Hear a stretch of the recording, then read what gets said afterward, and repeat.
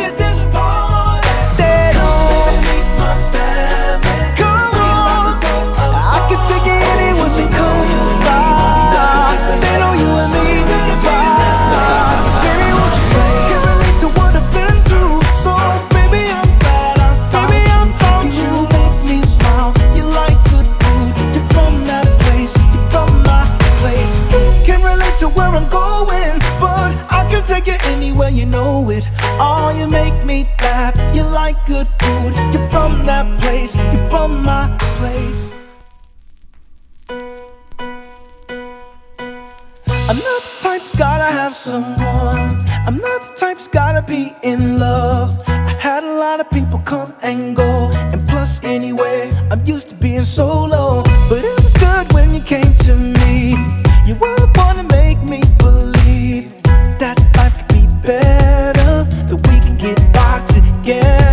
Come, come, sit down. Let's celebrate this love we found. Cause we know this is real. I'm about to let you know. I gotta let you know that.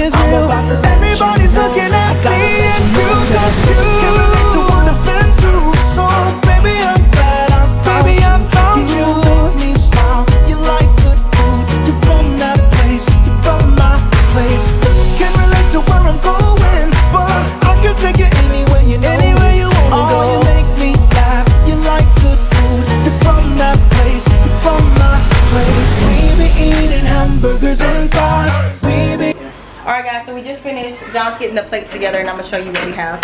Leia's here. Sean and Simon for dinner. And they're gonna uh, they're gonna taste our food. So I went ahead and made a, an extra salad. We have the cauliflower soup, the sweet potato hash, the shepherd's pie, and the two salads that we have over here. The cucumber tomato and the blueberry spinach with orange dressing.